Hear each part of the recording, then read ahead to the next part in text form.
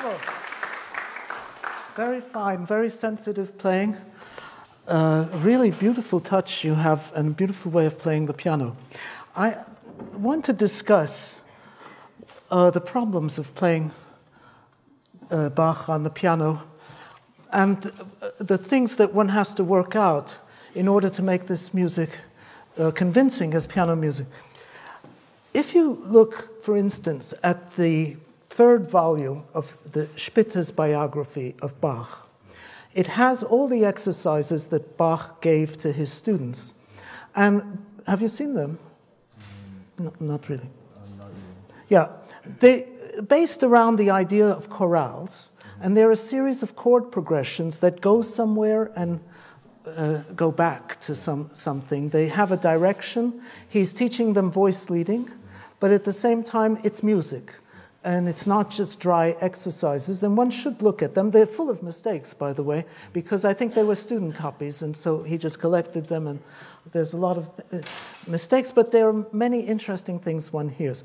And I think the concept of a chorale uh, is something that should guide you in the playing because it'll show you where you're going, where are the points of climax, where are the points of tension, uh, and where are the relaxations and how is it going. You have to create what, I, what is called linear progressions, for instance, um, hearing an interval in, unfold in time. Uh, and I think uh, you can be more aware of that. And the other thing I would say is to not use too many pianistic effects like subito piano, or for instance in the Courante, uh, quite a, a, strong sound, yes, strong sound, but still having this rhythm of the Courante, one, two, three, bum, bum, yum, so that um, it doesn't become too pianistic as such, uh, which has, uh, uh it shouldn't be done. Now, um, the question of tempo brings us, again, it's a, a, matter of taste to some extent, but I think the Allemande is so, flowing, but not too, not too rushed, not oh. too going forward. Um, let me just uh, play a little bit the, the first phrase and show you what I mean. Also, don't do the ornaments the first time around. It's the second time that you can do. So that, for instance, if you do I wouldn't do that. Now you have to hear this third. And back.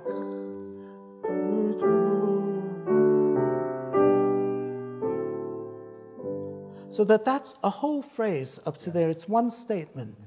Then um, the tension gets more when you're getting into a, a harmony that's not part of tonic dominant. So, so in very often in this piece, he'll go to E minor. But it's a tease. It's tease because he's back on the dominant. And now you have this expresses the dominant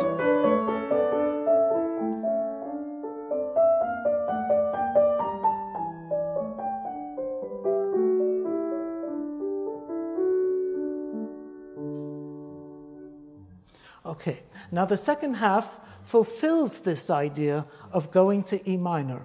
Um,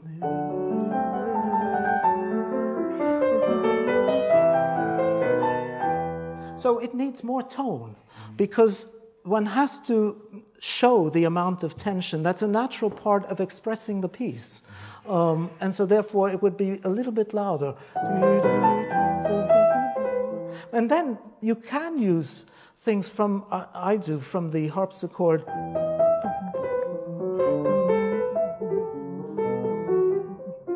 Instead of, um, sorry, um, uh, big leaps.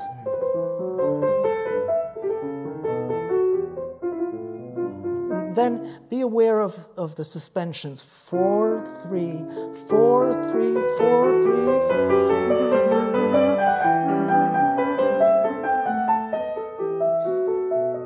that's the end of E minor. And now it has to modulate back to uh, G major.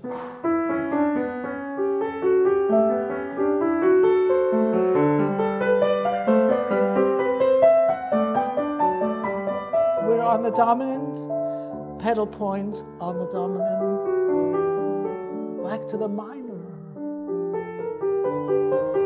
neighbor, and now it confirms the key. All of these structural things have to be shown, otherwise, the piece isn't a complete, uh, you, you don't hear it as a complete thought. Okay, try, try it now.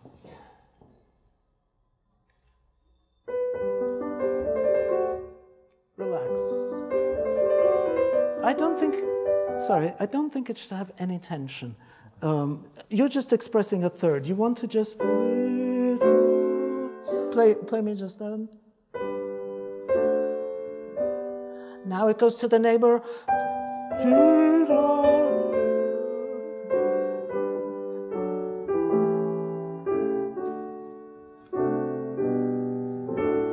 Sorry, the body. And this is ornamented by Bach himself. And again, it's that third that began the piece. That's sort of the motive for the whole piece. Relax. It's, it has, sorry, it has too much tension. Yes. To lead to the neighbor.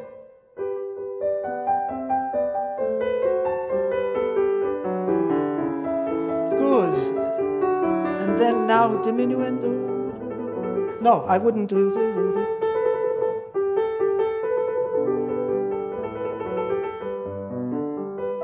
Now, needs more attention, just a little bit.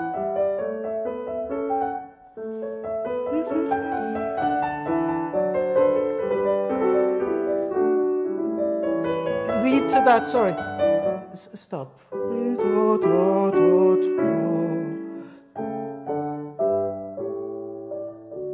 Would reduce it uh, when you're at home to the basic chords so that you know where where things are going, and so that it doesn't just um, sort of go, it has a direction to it.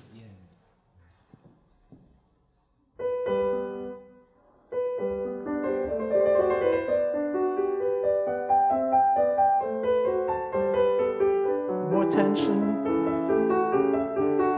Now relax.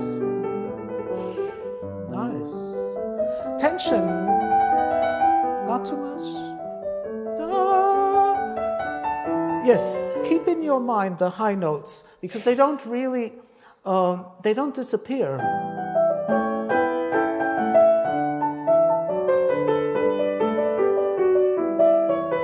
So that one hears.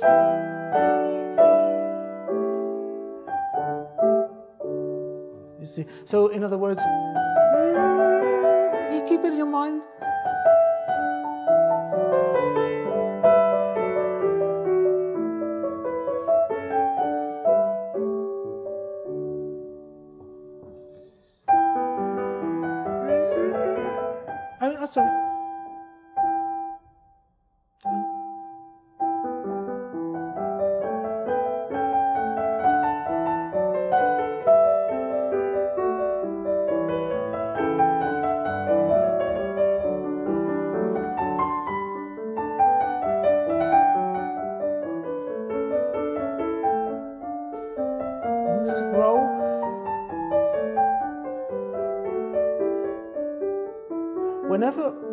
There's a neighbor note.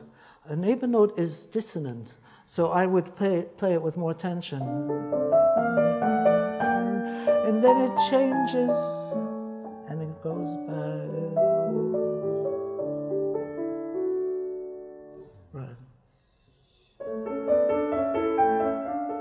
Go to the neighbor.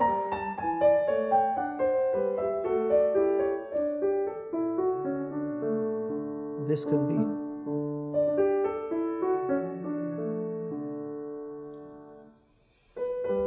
can go on.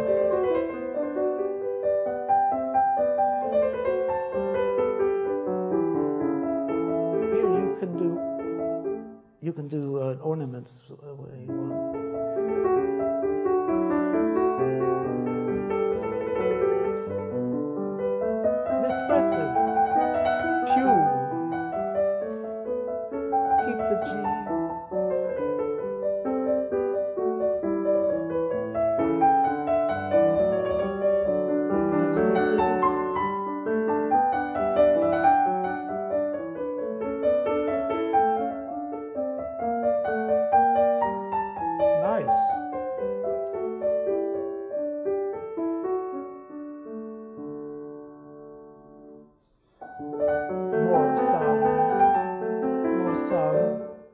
It's okay, more sound.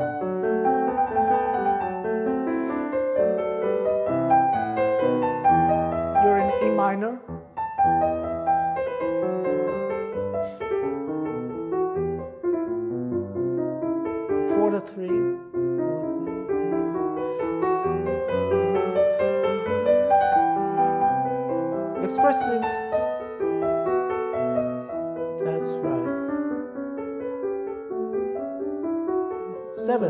Sorry,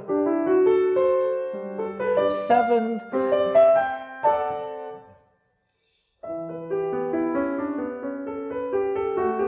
go to the seventh, to the seventh. Mm-hmm. Yeah, what note do you expect?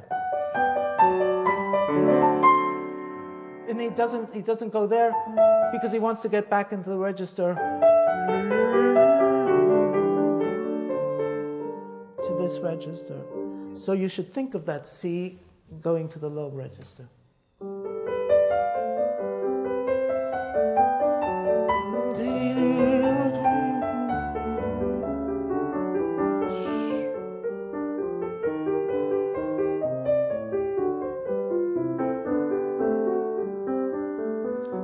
Can you try just a little bit more singing in the sound? Just a bit.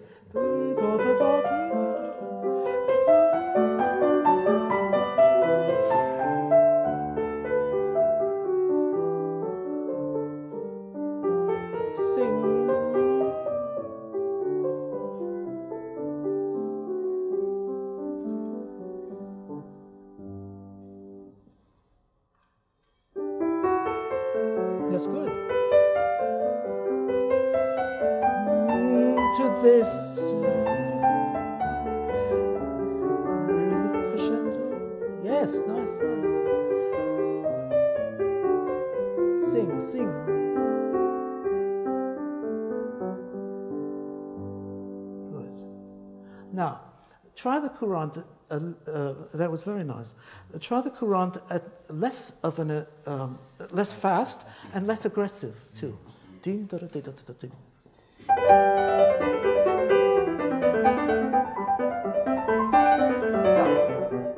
To anything in, uh, in, G major, there's a kind of lightness and blessedness. If you think of the um, G major piano concerto of, um, yes, it has a tenderness, tenderness and uh, I don't know, a, pu a, purity that G major alone has for the composers.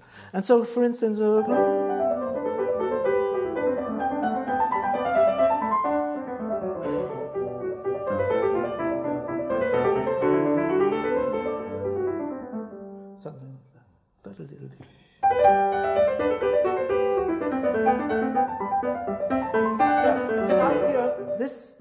um, linear progression um, from the G, you're basically uh, the G has the sound in your mind, if not only.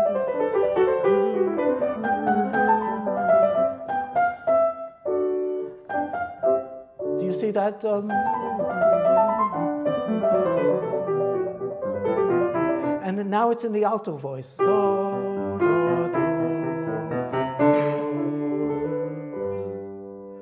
So we hear that fourth because coming up,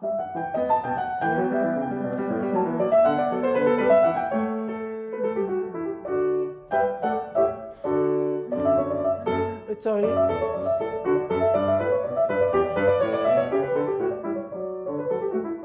D will be the most important note for the last four bars. But up to that, and and the second time, go to the key of the dominant. Okay. That, that, for me is a little too aggressive. It's forte, but it's loud. Yes. No, uh, sorry. Do you do you know what I mean with this this fourth? Da, Yeah. da, dee, da. Just slowly. Not- this is not important. From here.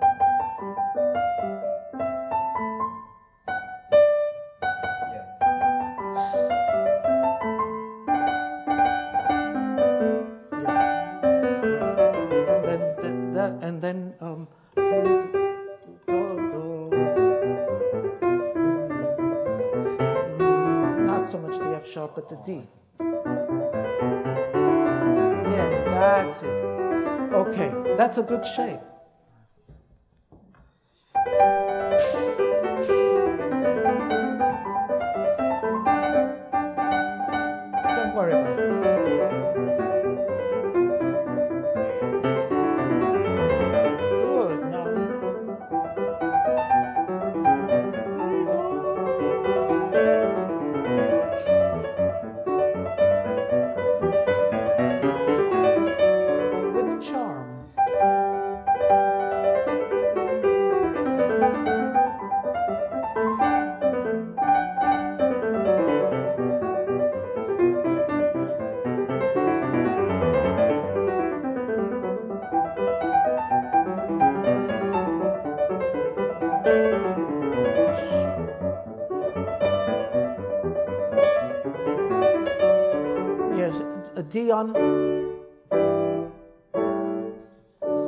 Is, is mainly how it's uh, going.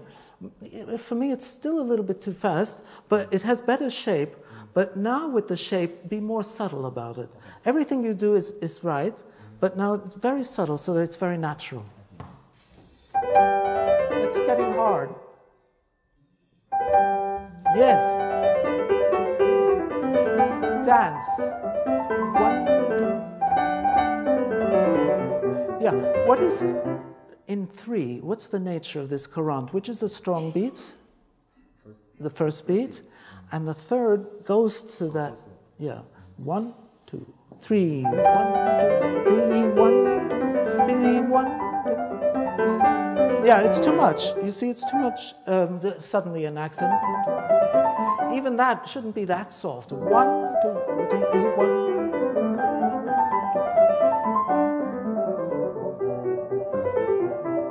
Very subtle and dancing.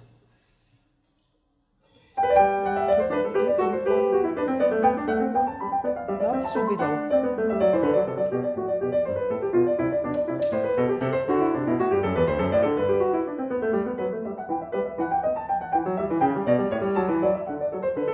try again. I wouldn't do subito pianos there, just natural.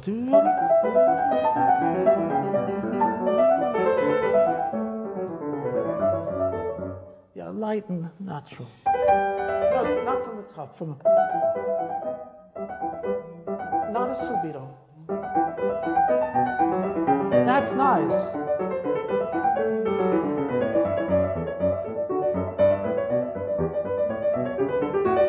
Let's go on. Don't get too fast. This is, yeah, this is tension. This is much, uh, uh, much more dramatic in a way, although it's not very dramatic. The whole period in E minor has to be with more tension than if in the other keys, than the tonic and the dominant. That's loud. That's loud.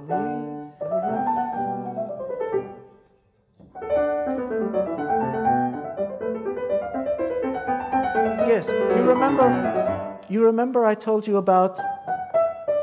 But this. Show me that. Do- Right.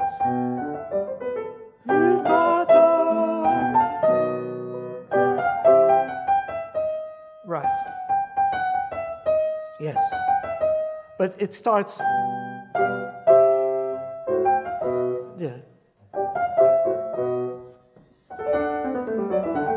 Starting there. No, starting there. That's it. That's it. You got it. E, E, E. Yes, you remember? Um, And now higher.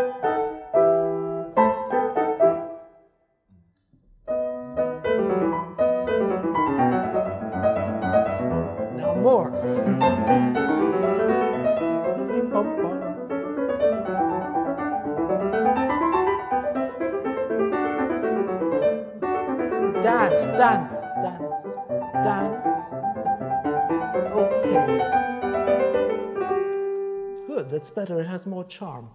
Now, the saraband. I think this is a fast saraband. Why? Because you have 16 bars in one go. Do you know the structure of this? Yes. 16 bars in the first section, 16 bars in the second section, but the last eight of those bars are sort of recapping. Uh, they go exactly to the first. Uh, where is this? The- the- compare this. yeah, Da, di, da, dum, ba. Except for that F natural, it's the same. Yeah. Uh, so it tries a recapitulation. Play that.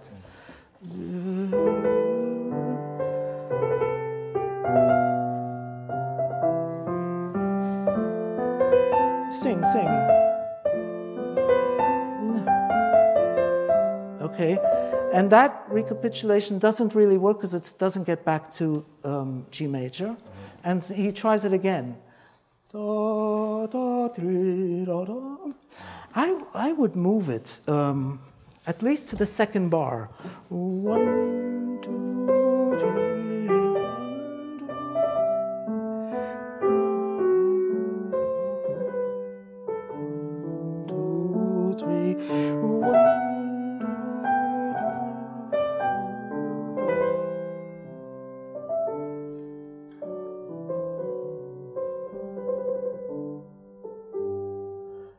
see, that's one thought. Uh, if it's going. it, it won't be able to encompass 16 bars, then 16 bars, and then you have a coda of eight bars. So that's a very long, um, my math is not good, but that's um, many, many measures, much longer than the usual 16 measures or 24 measures.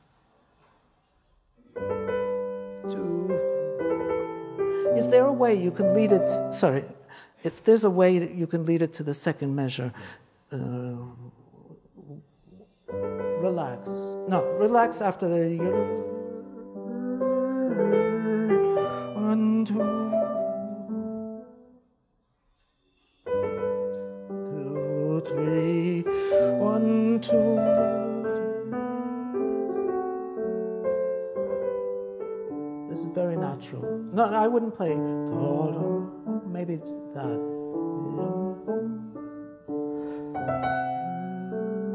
Lead to the next measure. It's getting stuck.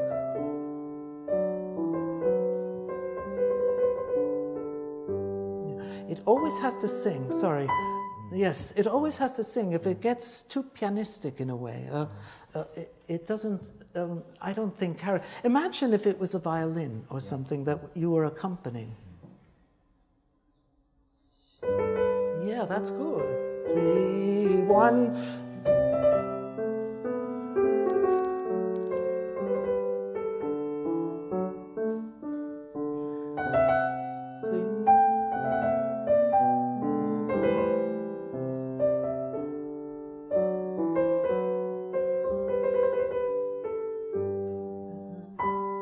Take a breath.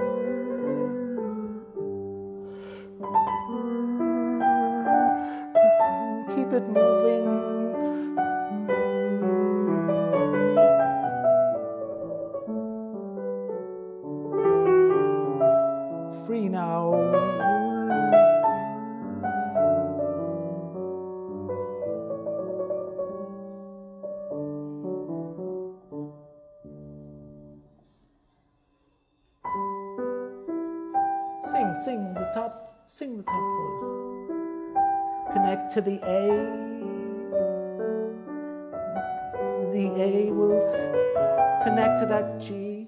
Where are you? D da da, and that holds. Um, that won't be resolved till here. D, da da dee da dee da. A.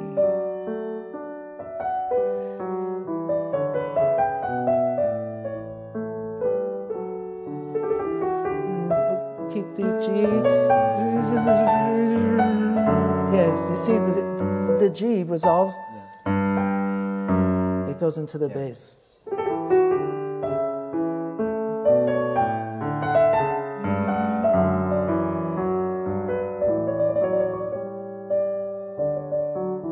That's good. You can use this as a hemiola. One, two, three, da, dum, in order to change the rhythm from the three.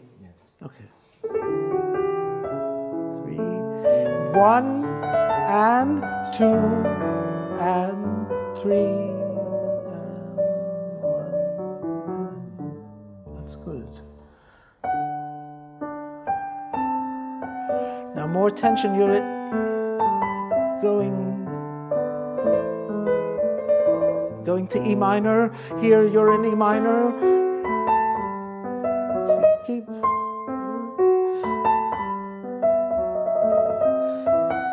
Now you cadence in E minor. And now you begin a recapitulation. It's exactly the first part. Play it.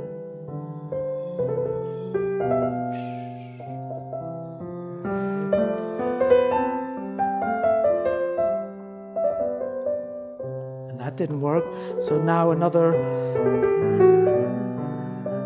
No, keep it.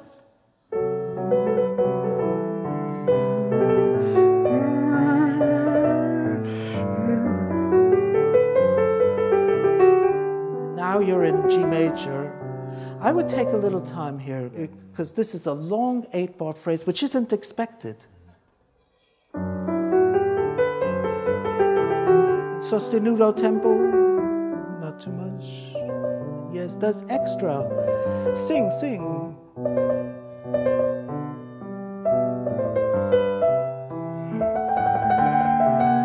This is so beautiful. Now you have your closing cadence, not too loud.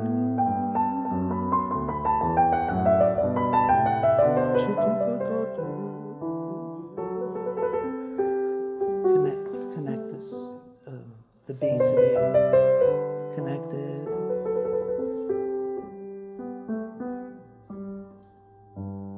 Okay. Very good. Thanks very much.